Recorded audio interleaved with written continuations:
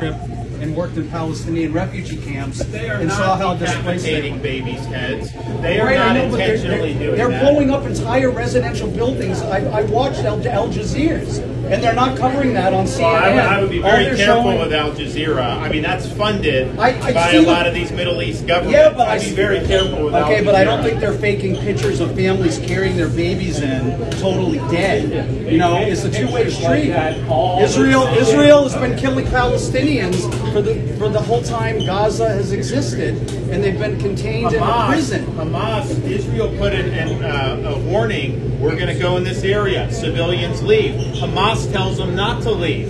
Hamas wants them to be human shields. That's their tactic, technique, and procedure.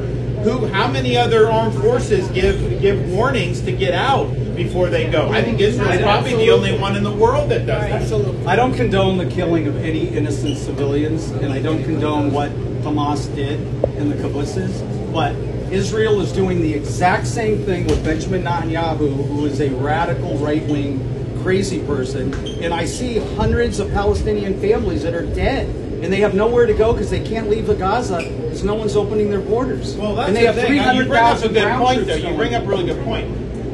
Why aren't these Arab countries willing to absorb some Because- of the Palestinian Arabs? They will not do it. Because, Egypt Palis- will not do because it. all the Saudi will not do Palestinians, it. None they were all will do it. displaced from their homes in 1948. I was there. I saw where people None were living do it. in None of the. Arab countries will be able to accept refugees.